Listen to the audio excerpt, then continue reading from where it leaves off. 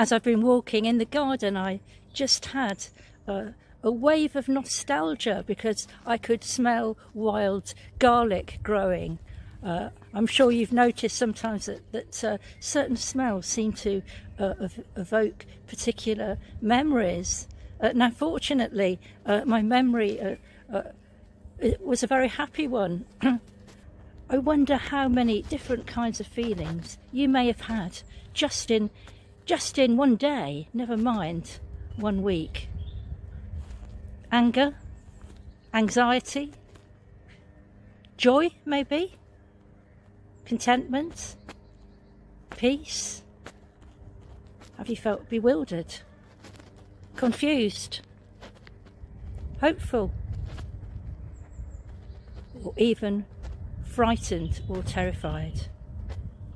Well, in the passage today, the disciples have just been through the most uh, horrifying weekend uh, that uh, that Good Friday of, of Jesus being uh, tortured and, and crucified uh, and dying on the cross, uh, a very shameful death of a common criminal that he didn't deserve.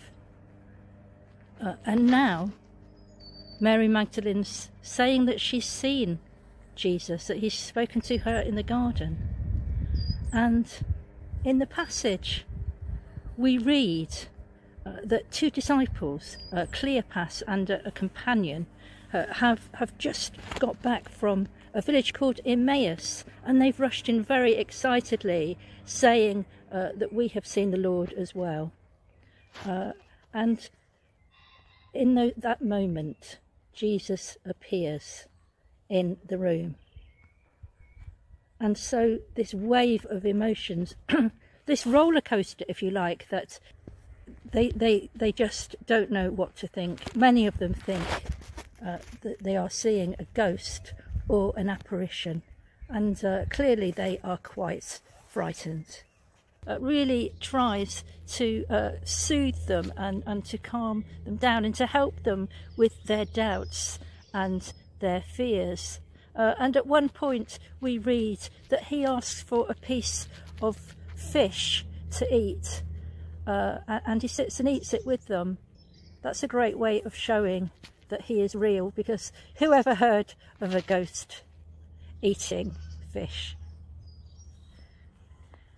And then Jesus talks to them and he goes into the scriptures, uh, what we would now call the Old Testament, uh, possibly uh, many of the verses that we call the suffering servant passage in Isaiah 53, uh, also some in the, in, in the Psalms and other parts of the Old Testament. And he, he teaches them, he shows them why it was that the Christ, the Messiah, had to suffer uh, and why he had to go through these things.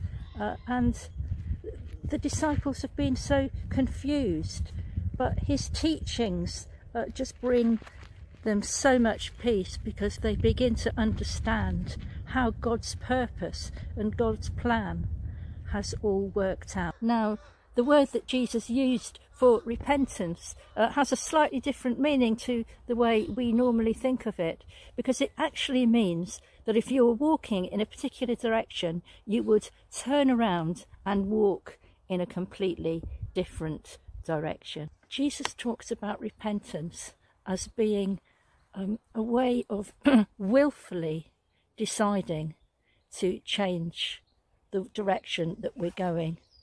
Perhaps our behaviour, perhaps what we're living for, um, perhaps the way in, in which we realize that God is calling us uh, to surrender our lives to Christ.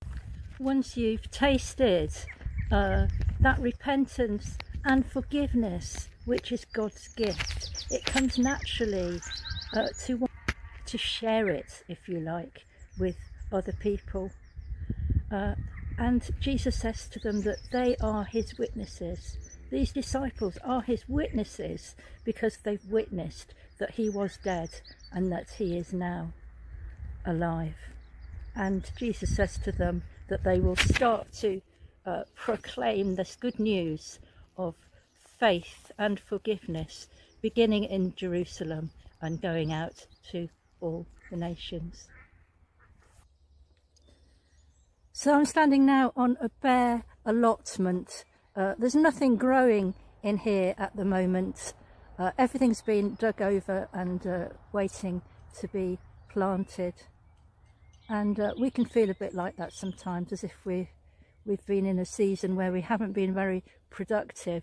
I think the disciples uh, were feeling very uh, bare and barren in their hearts. Everything that they'd worked for at Jesus' ministry um, seemed to have gone wrong because he'd ended up uh, being crucified, and that was the last thing that they expected. So they were feeling very, very confused.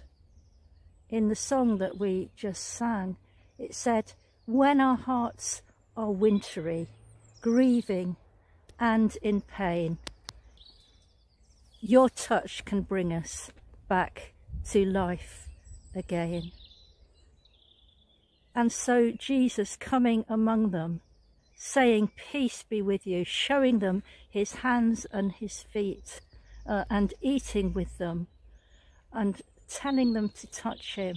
That was just what they needed uh, to reassure them that Jesus truly was risen from the dead and that life would never be the same again.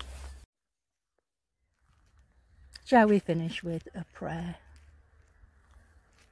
Loving Lord Jesus, for the way you soothe us and calm us from our troubles, for the way you fill us with your peace and you help us to understand. Lord, we can't pretend to understand all the things that we've gone through but we know that you are here with us, showing us your wounded hands and feet, showing us your wounded side, uh, and touching us. And because of your touch, we know that you can bring our dead hearts back to life again. We thank you for your gift of repentance. We can truly turn around and walk in a completely different way with Jesus Christ beside us. We thank you that we are forgiven. We thank you that through the cross you heal us and you replenish our souls. Heal our hearts, heal our minds, heal our spirits as well as our bodies. Give us hope that we too might be witnesses to a wonderful work that you do in our lives. Amen.